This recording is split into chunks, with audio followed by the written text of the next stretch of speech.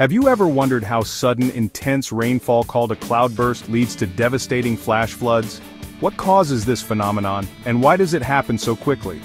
A cloudburst is no ordinary rainfall, it's an extreme weather event where the skies unleash over 100 millimeters of rain in just an hour.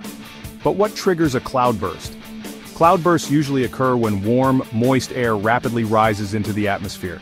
This happens in regions with high humidity and uneven terrain, like mountainous areas. As the air rises it cools down quickly, causing water vapor to condense into heavy water droplets. Normally, raindrops fall steadily to the ground, but in a cloudburst, strong, upward winds trap the raindrops inside the cloud. These droplets keep growing until the cloud can't hold them anymore, and all the water is released at once in a sudden torrential downpour. This rapid rainfall often leads to flash floods, sudden surges of water that occur when the ground can't absorb rain fast enough.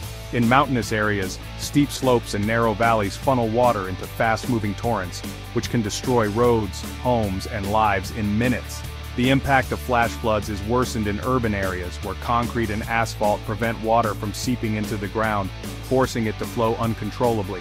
While we can't stop cloudbursts, understanding them can help us prepare.